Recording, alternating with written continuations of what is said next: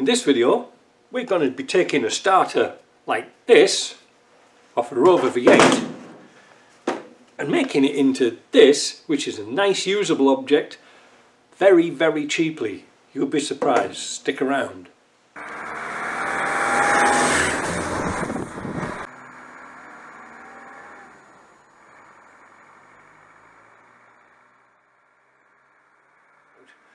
And I thought I'd have a look at this starter motor that I removed from the Disco 2. It's a Commoner Garden V8 starter.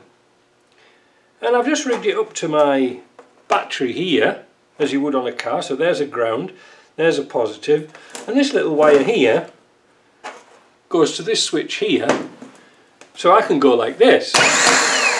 Now wait a minute, hold on, hold on. This was reported as a non-starter. So this is really bizarre and it's got me wondering what the heck is wrong with it. Why did it stop? You can see it's got plenty of power.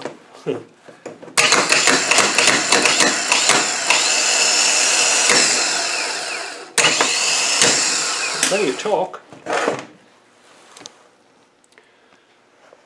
So why is it when you turn the key it clicked and we put a new starter on and it works straight away? Could it be simply the wiring connection on here, this thing here? Well, it possibly is, but how would we know? anyway, there's a new starter on there and it should be good. So I thought it was just something to do. Why not take this one to bits and have a look at it? So let me get set up. So, uh, starter motor, Bosch don't usually give much trouble. But it is a bit dirty and we are going to get into it. Now one of the biggest problems is these screws here, getting them out of the solenoid. So what I intend to do is pop this through the sandblaster, clean up here to see if we can get that solenoid off because that's really going to help strip this down. Well that was a jolly good uh, thing to do. I give it a quick sandblast all over and if you can see here once I'd cleaned out the the heads they're actually Torx bolts. They're not uh, Phillips or uh, a socket an Allen key. And also it's cleaned up the back so you can see the screw in here that holds this cover on this little cover here. So that in effect is not too bad. So we can now take this to bits. Whoops. There we go and take the bits first want to do is take that nut off there, off the starter. That should be a 13. Yes.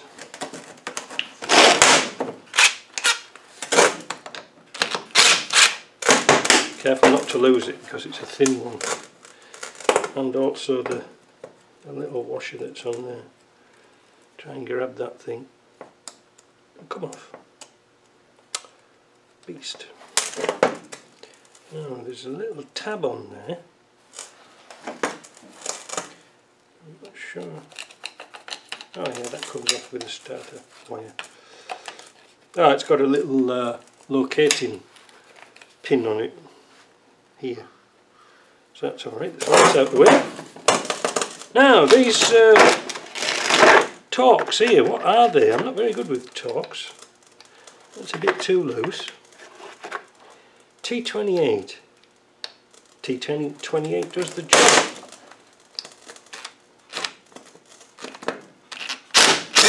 Nope, no it doesn't. That's that buggered. My uh,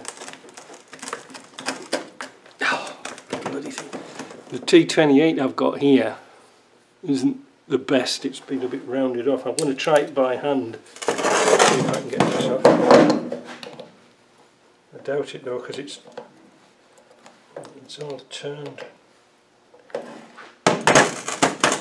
Yeah, that's ripped off. Hmm, what a rip off. So, that's going to make life interesting getting into there. I don't know who this Mr Torx chap is, but I'd like to go across and give him a punch on the nose because I don't know why he came up with this, or she came up with this idea of this is the best thing since sliced bread for screws. Obviously never tried to get them out. Because um, once I've got paint in, they're a bugger to get anything in and the the depth of contact is very, very shallow. I don't even think I'm going to get these out. I think I'm going to have to drill them out.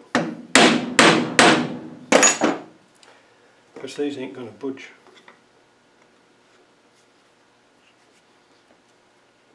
No, they're round enough. So let's drill them out. You need a drill. Last one.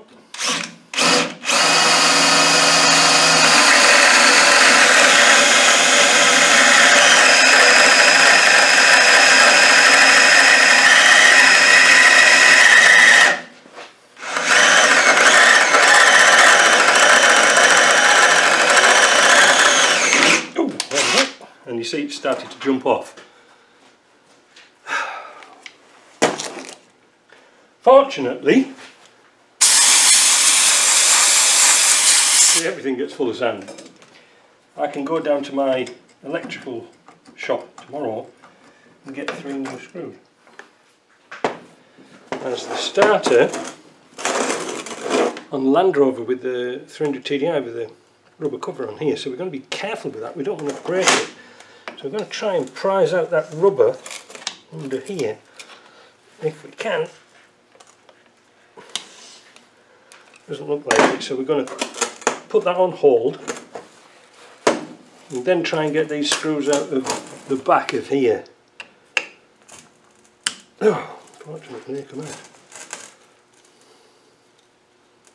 What a cockamamie carry on in it.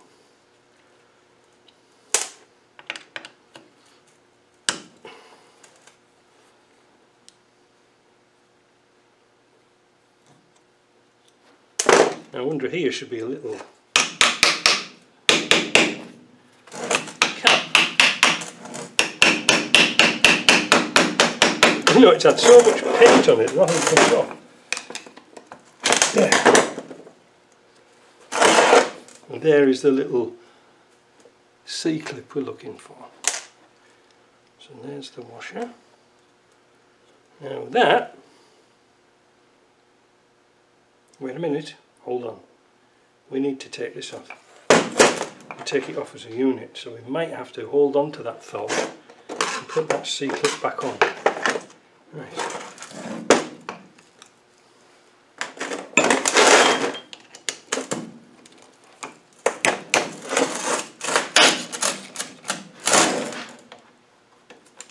I don't know why I actually I'm I don't know why I actually am doing this because I must have about 10 of these started. I was just curious to see what was wrong with it and why it wouldn't start. Right. There we go. There. There we are. And that's all there is to it. Now that will hook off there. This will stay on here. This is full of sand. Now what happens next? Oh, let's have a look at these screws. Will they unscrew by hand? Nope. They're tight. And they'll come out with a pair of pliers. So.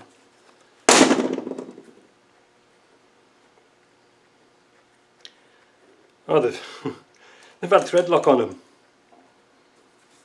Can you see? Thread lock and Torx, what a great combination. Anyway, we'll get those out later. Let's concentrate on here because I don't want to take all that lot to bits but I want this piece taken out.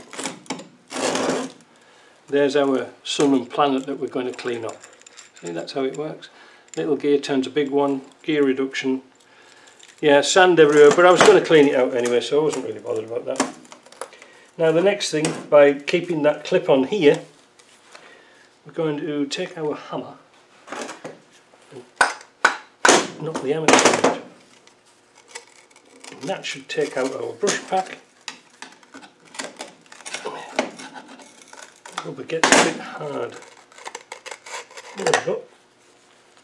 One starter stripped down. Now there's a capping in there that should knock out so now we can get on our merry way and clean all this lot up now what do the brushes look like this is what we're interested in the brush pack. Now that thing there should come off here. Obviously it's not. It doesn't really matter too much. The brushes look extraordinarily good. You can see they're right at the tops so they haven't really done all that much. So I think washing a brush up is an order of the day. So let's do that. Let's clean off these casings. Give them a paint up. And uh, let's see what they're like this starter motor is absolutely perfect. I can't find any faults with it whatsoever. I'm not going to go through testing and stuff like this with multimeters. It turned, it started, everything looks beautiful.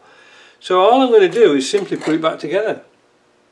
I'm going to put a few drops of oil in that bush up there. Doesn't need much luck. I'm going to put the washer on there.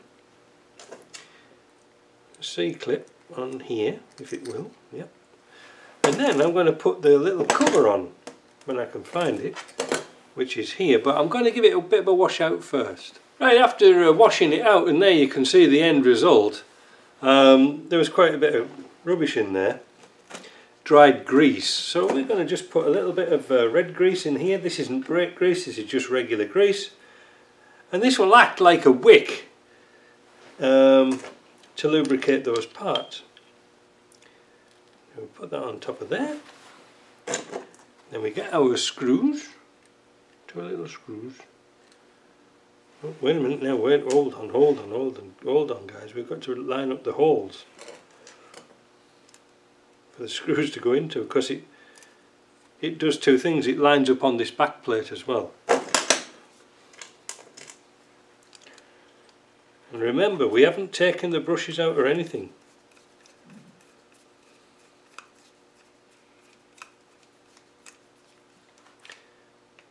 hole in there. I thought there was a hole in the end for greasing. Lucas ones used to have a little hole in the end you can put a bit of oil in. These Bosch ones don't, so they obviously are relying on a bit of grease. Right, that's that done. Oh, cleaner on my phone. No dirty phone calls then. Uh, so the next thing what we're going to do is we're going to assemble these two parts together. And we're going to put everything back together as it was. We're not going to bother with much at all. This turns beautifully. So we want that in there like that. And it being a magnet, it tends to want to go it, itself like that. Now, once that's like that, we're going to give it another degrease and paint. Now look, I've already painted the, uh, the solenoid, so that's good to go. So we'll put that somewhere safe. And we're going to paint this piece with a bit of black Tremclad. Light coats, always remember with painting, it's light coats from a distance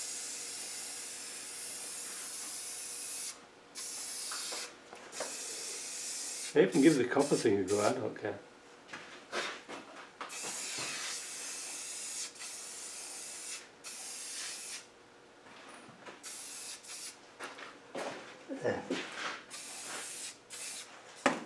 Now I've already done this piece, see this is uh, aluminium, this has been through the wet bead blaster, it looks really nice.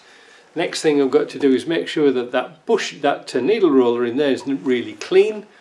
So we're going to again use our brake cleaner. And this little needle gun here that we've got this I don't know what this is for blowing up balloons or something like that. Give that a good old blowing out make sure that there's no no dirt in there. That might take some time so I'll be back shortly. Uh, so while we're talking about cleaning stuff up we've just taken this uh, assembly here, we had a look at it, seems nice and clean. Um, yeah, nothing seems untoward here. This little roll is good. But in here we have these little uh, planet wheels and inside there there are needle rollers. So So what we're going to do, we're going to take the needle roller, pack them with grease, each and every one of them. Don't, don't leave any out. You know.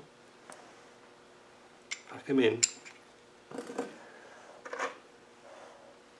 A little finger full of grease, pack them in, and then from the side you put your grease in, put the gear in, and then a nice generous splodge of grease all the way around those gears like that and they will last for years and years and years because the grease can't evaporate